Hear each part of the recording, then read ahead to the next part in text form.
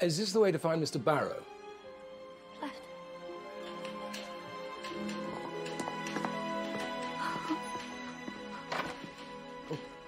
So this is where you hide? Can I help with anything, sir? Well, you can certainly help by not calling me sir.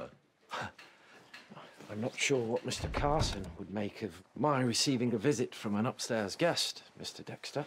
Well, Mr. Carson isn't in charge now. You are. Suppose someone comes in, what would they say? I don't care. I've lived in America for 10 years now. I don't believe in that stuff anymore. Please call me Guy. What's your real name? Quentin. Quentin Sidebottom. That was a good decision. Do you know what you're doing next? I don't think anybody does. I shall go home and await developments. I might call Clive Brook or Charlie Chaplin, see what they think.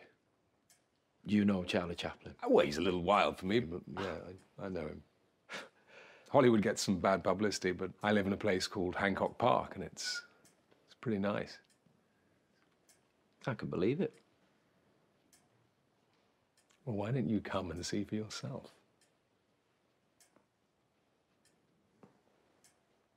What?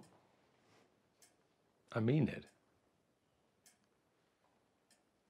I travel a lot for my work, and I don't have a wife to look after me, so you could do it. I'd be your valet. More than that.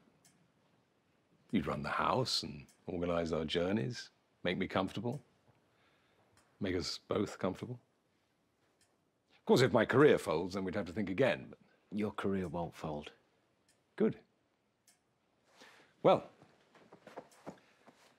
you let me know when you've come to a decision.